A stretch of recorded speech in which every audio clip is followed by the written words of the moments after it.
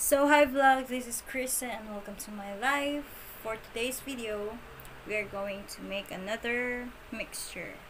So, yung isa is pare kapareho siya sa product na kapareho siya sa drinks na nakita ko sa yung video na pinakita ng mother ko.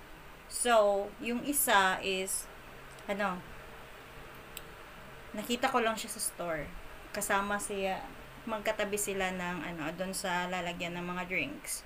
So I was curious kasi first time ko siyang nakita. So I was like, hmm, ano kayang lasa na nito? So, ayan. so, ganun pa rin ang sequence. We were going to taste it first, like individual taste. Tapos, yung pangalawang taste test natin is yung may, may Yakult na. So, ayun. So before going to start the video, don't forget to hit the subscribe button, button.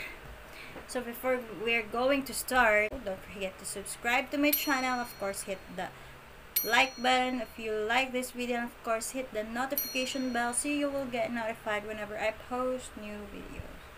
So let's start. So ito yung second drink natin na titikman. And of course, itong drink na ito is no sugar, no carbs, and no calories. So, kung health conscious kayo, something like that, pwede itong inumin. Kaya, mag-try tayo ng konti. Wait lang. Ow! Ow! Ay, mali pala kayo. Gago! Ooh. So, ayan. Oh my God. Yeah, this is a carbonated drink. Ayan. Bakit feeling ko? Sana wala itong alcohol content ha. Wala naman akong nabasa may alcohol content. Pero ito siya. Pero siyang coke. Yung kulay niya. Parang coke. So, let's taste it. So, ito na yun guys. Parang siyang coke. Yung amoy niya is, my God, kinakabahan ako. I'm nervous. Okay. Yung, yung amoy niya is like, ano, parang siyang Vicks Vapor Rub or yung isa, yung isa. Yung, mm, -mm. Siyang Vicks Vapor Rub. Oo, no, yung isa nga, yung original, yung pinakauna pa. Basta related sa ganun. Parang,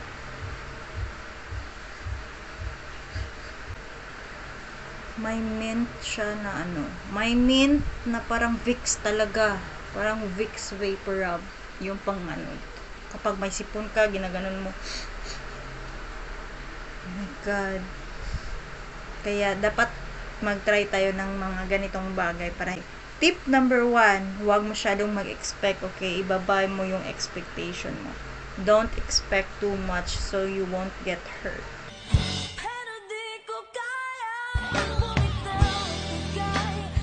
So, ito na siya. Yung lasa niya is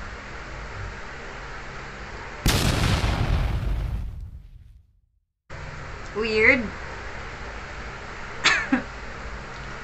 para kang ano parang mas ano mas mas mas mas develop na Coke Zero. Parang siyang Coke Zero. Pero meron siyang aftertaste na may pagka ano mentol mentol menthol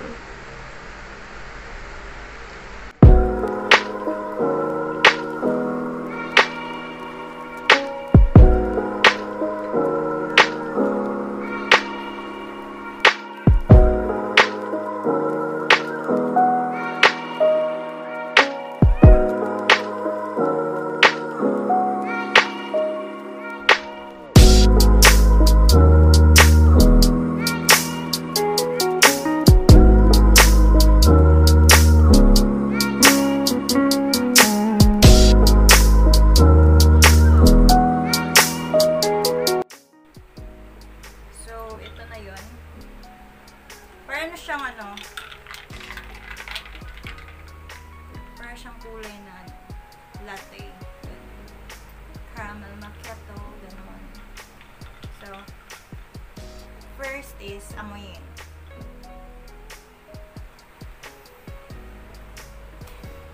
Weird yung ano niya. Ewan ko. Yung amoy niya is weird. Nandun pa rin yung parang mint mint na amoy niya. Tapos, tik tikman na natin. Okay, huwag nating kalimutan, huwag masyadong mag-expect na masarap kasi first time natin itong itatry. Para hindi tayo masyadong masaktan. You know? You know?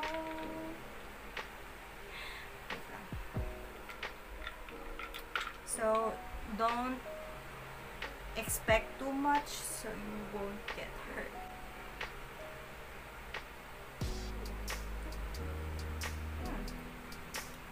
Oh.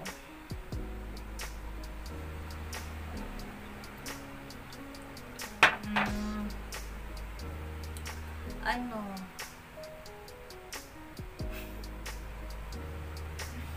Well, medyo nag-iba yung lasa. Parang nagkaroon siya ng flavor ng light. Very, very light.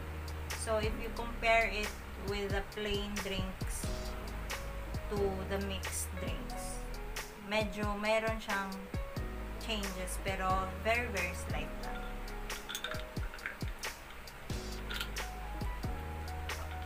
Ah. Pero iba pa rin talaga siya, guys. Hindi, iba talaga siya, guys. Meron, meron siyang mint na aftertaste pa rin. Iba, iba siya. Iba siya ang lasa. If you're curious what this tastes like, pwede nyo itry, guys. Tapos, itag nyo ako sa IG, ha. Para makita ko yung reaction. Kasi, oh my God.